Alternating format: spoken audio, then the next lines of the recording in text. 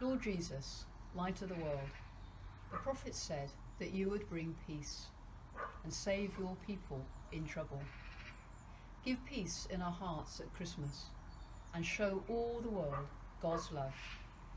Amen.